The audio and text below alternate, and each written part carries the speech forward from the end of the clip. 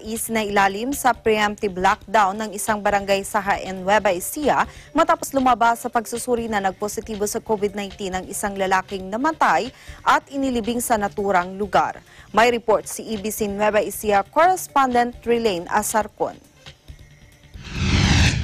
Isinailalim sa preemptive lockdown ang barangay San Roque, Haen, Nueva Ecija matapos na paglamayan ng tatlong gabi at ilibing ang isang nagpositibo sa COVID-19 na galing sa Malabon City. Iniulat ng Nueva Ecija Interagency Task Force ang nasawi ay isang 47 anyos na lalaki na pasyente sa isang ospital sa Malabon, Metro Manila. Batay sa naging panayam sa asawa ng namatay, bandang alauna ng madaling araw nitong June 23, 2020 nang idinaing nito ang pangati ng lalamunan at hirap sa paghinga. Sinubukan itong i-revive ng mga health workers sa isang ospital sa Malabon, ngunit namatay ito bandang alauna imedya ng madaling araw. Nagbilin umano ang doktor ng ospital na kailangang iswab test ang pasyente kahit ito ay namatay na dahil ito ang protocol ng ospital. Ayon pa umano sa asawa ng nasawi na hindi sila nasabihan ng ospital na ang kanyang asawa ay suspected COVID-19 case. Kaya't noon ding araw ng Martes,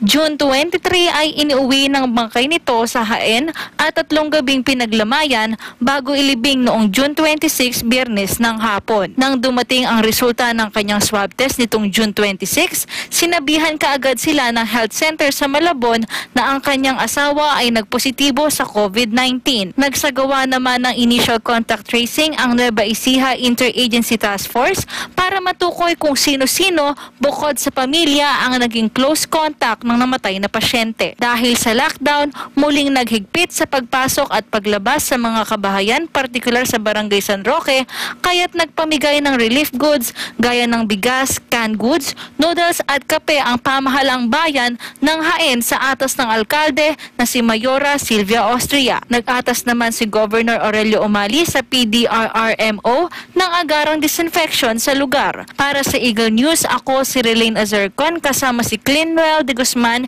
and Will live in interesting time. Pagkatapos